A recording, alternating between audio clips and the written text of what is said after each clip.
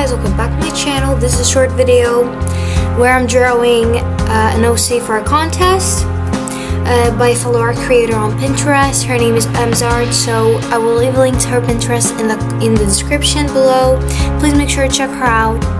My Pinterest will also be linked there, so if you want, you can check it out as well.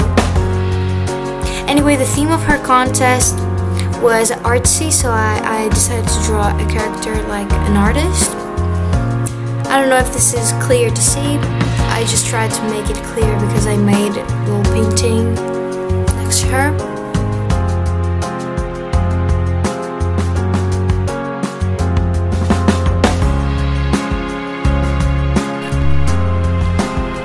But yeah, please make sure to do these two things because they help me out a lot, you guys. Emzard, I hope you like this. See ya!